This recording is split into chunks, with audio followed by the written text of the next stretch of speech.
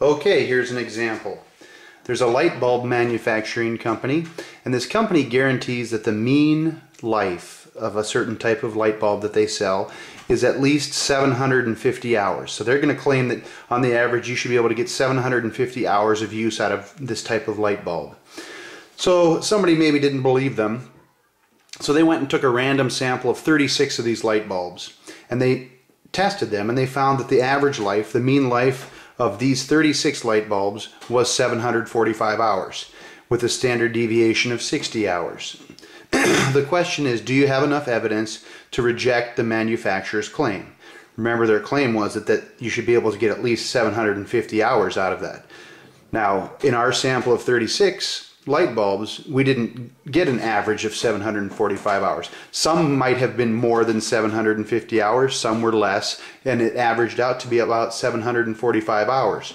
Now there was a standard deviation of 60 hours, so there was some spread among all the data. The question is, is it very likely that if it's true that you actually could get 750 hours or more out on the average out of your light bulb, is it very likely that you could just randomly take 36 light bulbs and happen to get such a low mean life? Well, we're going to find out by testing this company's claim. And to do that, we're going to use a hypothesis test. To start out, we want to always write what the claim is mathematically. Now mathematically, they're claiming that the mean, and so we call that mu, the mean life is at least 750. That means it could be equal to 750 or it might even be greater than 750. So we would write as greater than or equal to 750. Now because this statement contains the equality symbol or the or equal to, that will always be your null. So this is going to be our null hypothesis. The alternative hypothesis then is the complement to that or whatever else this doesn't contain. If the mu is not greater than or equal to 750, the only thing left for it is to be less than 750. Now I always tell my students to put which one the claim is because that makes a difference how you're going to interpret your results. So since this was the claim, I'm going to write claim up there. Okay, from our sample, we see that uh, the, the sample mean, and the symbol we use for sample mean is x bar, was 745 hours. And the sample standard deviation, we use little s for sample standard deviation, was 60 minutes. Or 60 hours, I guess. We're in hours, sorry. And the sample size, the number of samples that we tested were 36. So n, which is your sample size, is 36. Now because our sample size is at least 30, we can use a normal distribution to test this sample. And so what we're going to do is we're going to I'm going to draw just a really pathetic looking bell-shaped curve here to indicate that we're going to use a normal distribution to test this. Because my alternative hypothesis has this symbol and it pointing to the left, it's going to be a left tail test. So somewhere out here is going to be a rejection region on the left side. So I just shade that in. There's my rejection region. This value right here is called our critical value this, that separates the rejection region from the non-rejection region. And since this is a Z test we're going to be doing, it's a Z, critical value, usually labeled Z naught with a sub-zero. Now if you need help um, finding critical values, I can help you with that, but usually you can look them up in a table. And it turns out for a left tail test, when your alpha is 0.05, the critical value should be negative 1.645. So the next thing that we need to do is now we need to find out what is our standardized test statistic. What value do we get in, in with our data here? What is going to be our z score, our z value?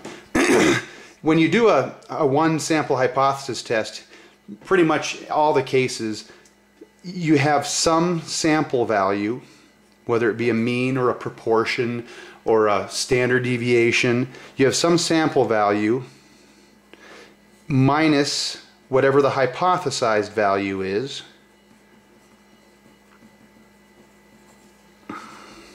And then you divide that by whatever your standard error is.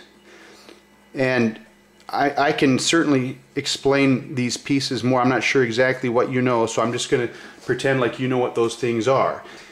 When you do a, a z-test then, the z standardized test statistic, the sample value is your sample mean minus your hypothesized value is whatever this number in the claim is.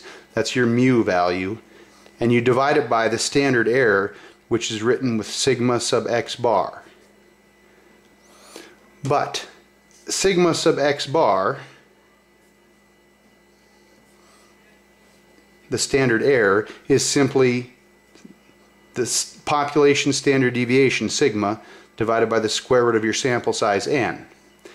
And if n happens to be greater than or equal to 30, the standard rule usually is you can use s in place of sigma because we don't know what sigma is, but we do know what s is. s is 60 in this case.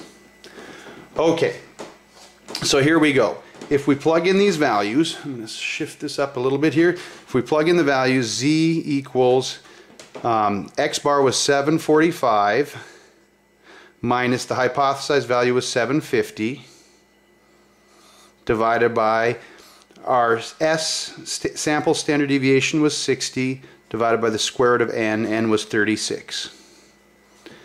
If you do these calculations, the numerator becomes a negative 5, the denominator becomes a 10. You can do that on a calculator, which equals exactly, in this case, negative 0.5. So, that is our standardized test statistic. Where does this fall in comparison to our rejection region? Well, remember on a normal curve, the middle is 0. And our here's where our critical value is at negative 1.645 negative 1 would be about right here. So negative 0.5 is like about right here. Okay, it's not even close to the rejection region. Since it's not in the rejection region, we will not reject the null. So your, your decision that you will make now in this situation is you will fail to reject the null. You do not reject the null. So what does that mean in this case?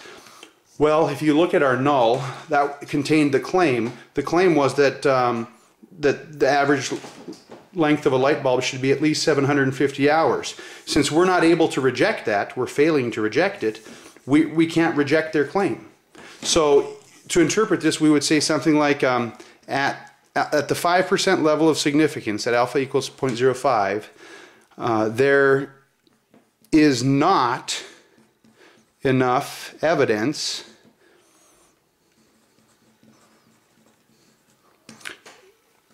to reject the manufacturer's, I'll abbreviate, the manufacturer's claim.